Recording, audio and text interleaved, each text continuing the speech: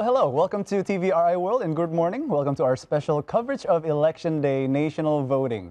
Today, a pivotal moment in our nation's history. We will witness and participate in a quinquennial feast of democracy. I'm Narendra Pawaka and this is my partner.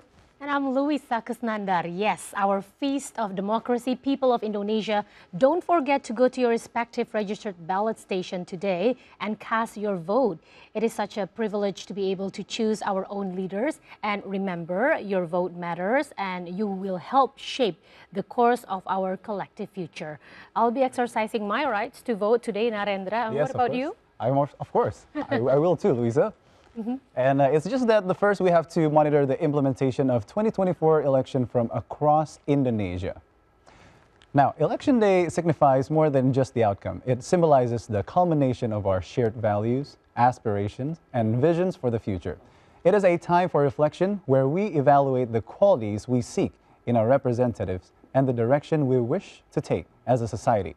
Now, this morning, our program will take you and guide you through the intricacies of this momentous occasion. Joining us in the studio are one of the distinguished experts, each bringing their unique perspective to our discussion.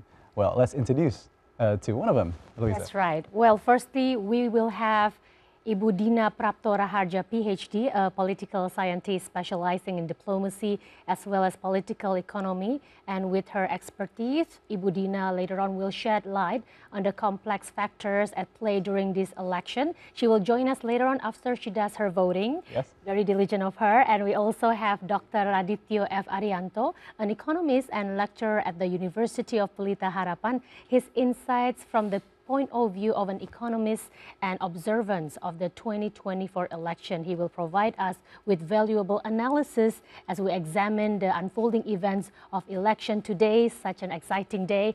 And in addition, we will also have our TVRI reporters standing by to report all across Indonesia directly from polling station or TPS in several re regions across Indonesia. Now, before uh, we welcome Bu Dinna later on, right now we have Mas Adit in the studio. Thank you so much for being here. Um, how are you feeling today?